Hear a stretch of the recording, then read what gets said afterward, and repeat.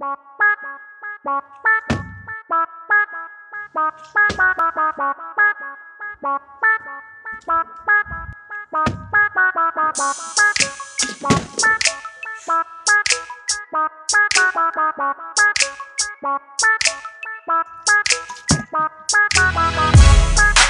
try to get this money out without knocking over the bottles.